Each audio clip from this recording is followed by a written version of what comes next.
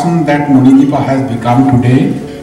As parents, Madhumita and I are very lucky to have her as a daughter.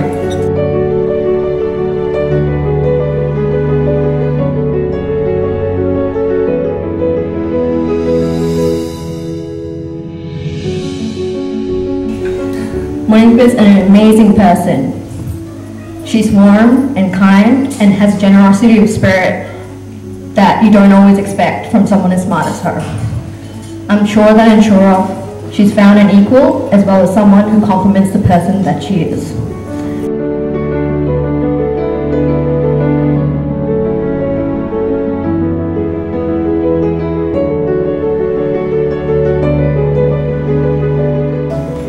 Sir, we deeply treasure Manidipa, and you are one lucky man.